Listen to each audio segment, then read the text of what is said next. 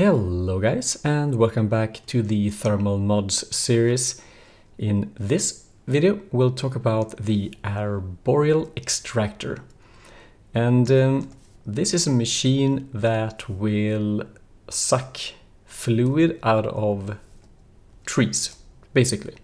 Well, there are a few, few variants of this. Um, we can also call it a tapper, by the way. Um, so, how does it work? Well, you place it next to a tree and then it will run by itself.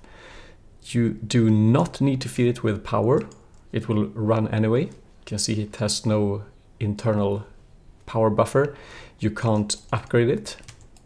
See? So, it really doesn't have many uses, uh, but there are a few different fluids you can get out of it. Sap, resin, and mushroom stew actually. So um, yeah, let's go and, and check it out. So this is how, how it looks when it's working uh, for real. Um, I have a spruce standing here. So that means that we're getting resin out of it. Uh, there are different trees uh, that will, well, in this pack there are only two different types of uh, out output, sap or resin. And oak and dark oak will uh, produce sap, and then spruce, birch, uh, jungle, I think, or there are a few. They will produce resin. And then, of course, the giant mushrooms will produce mushroom stew. But there is a few things you need to think about. Um, for example, this doesn't work. These are just uh, blocks of wood that are placed down, and that doesn't work. The extractor will actually keep track of if it's a real tree, like this one. I have grown this with bone meal from a sapling, and that's valid, of course.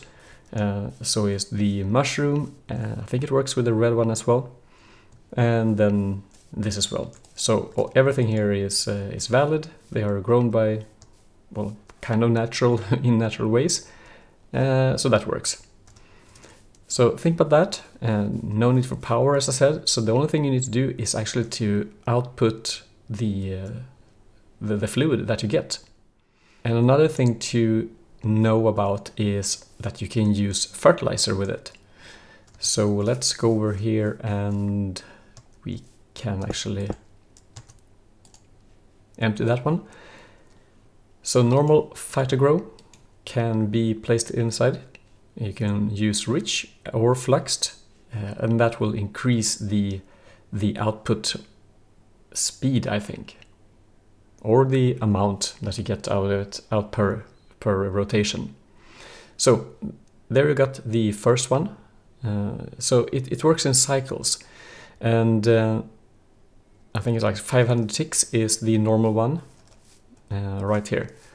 So 500 ticks for one operation. That's the first one that we saw, and then when it used up the fertilizer, uh, that started the second second cycle, so to say. So great. Um, but there are thing, some things to think about when you when, when you try to uh, use more than one extractor, and that is that when you have one to a tree you'd have a 500 uh, tick cycle.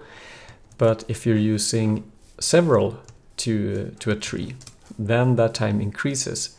So you can see according to this, this table, with the two extractors, every operation takes 750 ticks, and with three or more, it takes a 1000 ticks per operation. So this is what I've done in this setup to, to compare the output from one each on these trees and then four on this tree. Now this isn't perfectly consistent and I don't know why it doesn't behave like I hoped that it would. And as you could see 500 ticks or 1000 ticks so I was expecting these four to produce as much as these two together. But here I have 19.9 and here I have 21.5. But in the beginning, and this is just so I would start them at the same time. Uh, but in the beginning it was actually these two that was faster and now um, now this one produces more. So uh, I'm not sure exactly what that means, but uh, just remember that it does matter if you have one or more per tree. Uh, for this type of tree, I think it can actually be quite good to have multiple because it doesn't. These trees actually take up quite a lot of space. Um, but you don't need to keep the leaves, by the way. You can actually remove almost all of them. I think you need to keep some on the at the top, but not on the sides. So I think if I, uh, because I did some testing over there and by accident I, removed too many leaves and uh, then it stopped working. So what do we do with the, with the output, you might ask? Well, the resin, well, resin, sap and mushroom stew. The mushroom stew is perhaps the simple one. As you might expect, you fill your bowls with it and then you get mushroom stew that you would get from, uh, from the normal recipe. It's the same thing. So uh, so that's pretty simple. Uh, and then we have the resin. The resin can be refined in a fractioning still and uh, be turned into tree oil. And this tree oil can, in, in the next turn, be used as a fuel in a compression dynamo. So they can get 400,000 RF from one bucket of tree oil, which comes from, yeah, and so on.